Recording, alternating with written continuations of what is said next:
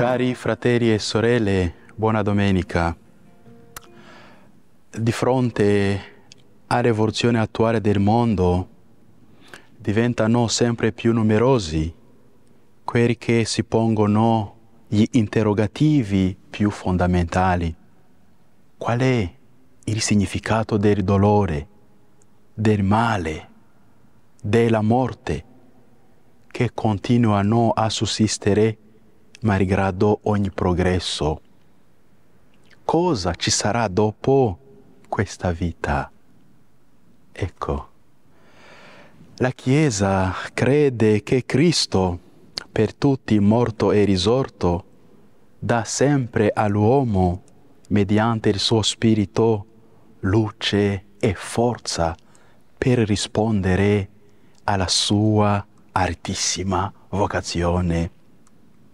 Il Vangelo di oggi presenta questa luce di fronte alla malattia e alle sofferenze umane. Gesù fa tre gesti molto significativi. Prende per mano, prega e annuncia. Prima di tutto prende per mano.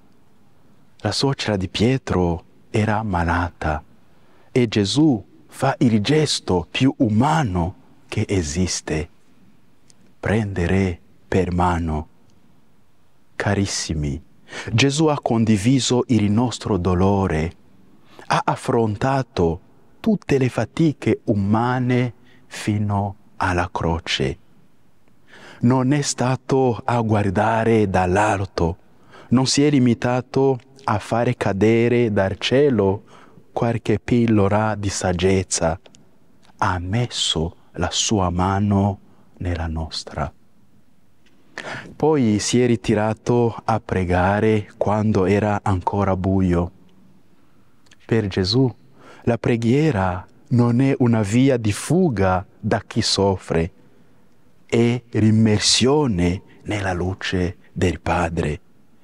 È un rifornimento per essere pronto a tornare tra la gente che ha bisogno.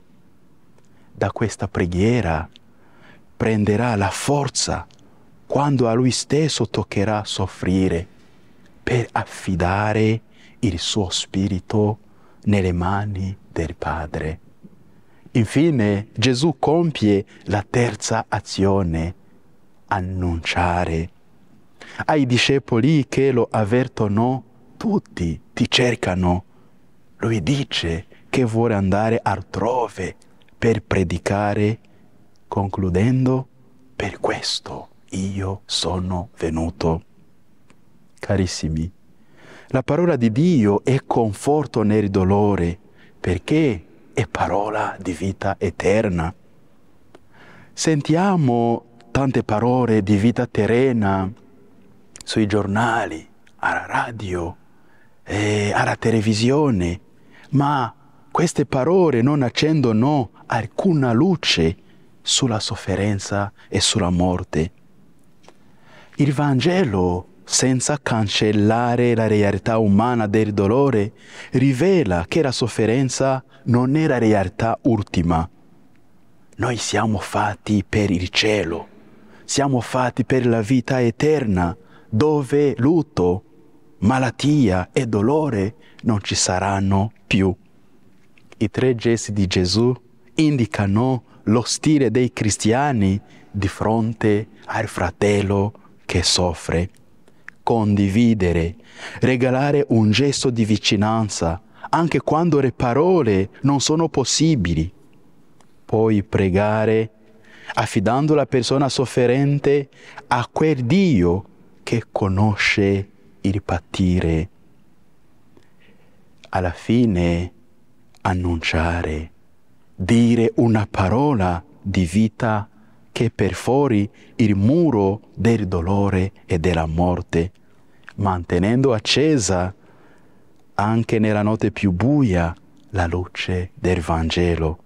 Una parola che lascia intendere quella definitiva risposta concessa agli uomini lungo il cammino della loro esistenza, la risurrezione di Cristo, inizio e promessa della nostra risurrezione finale. Buona domenica a tutti.